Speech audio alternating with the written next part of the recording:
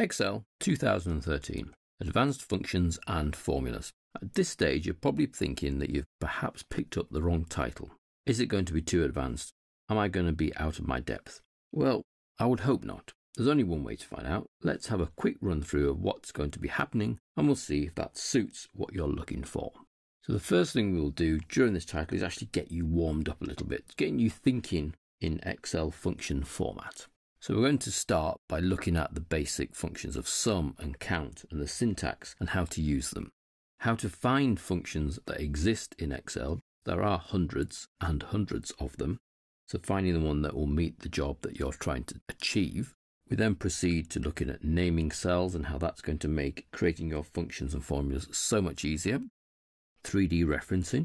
If you've never tried it before, it's worth trying. The ability to run functions across multiple cells and multiple sheets.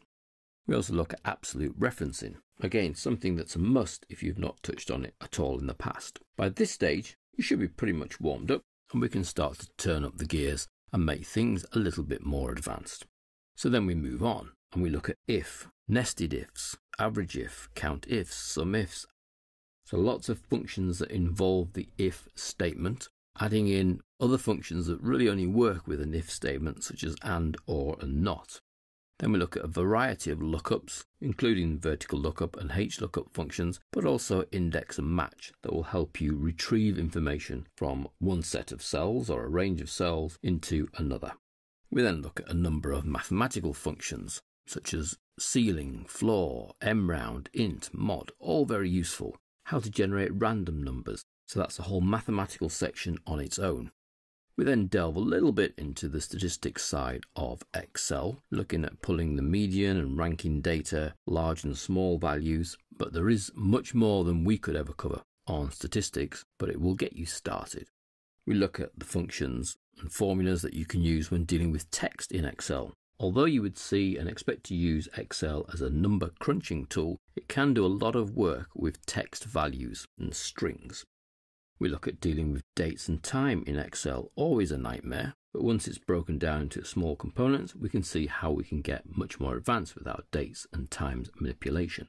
We look at a number of information functions. We can use information functions to find information out about the current sheet, the current book, or about particular problems with cells, or even just checking on another cell.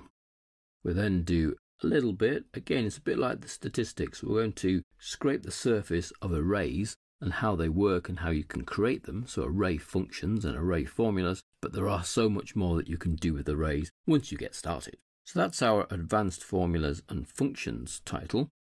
Hopefully, I'm not scared you too much and you want to get going and get delved in. If at any point you have any queries, questions, or comments that you'd like to raise about this particular title, then feel free to email me at training at nybytes.co.uk. Above all, have fun.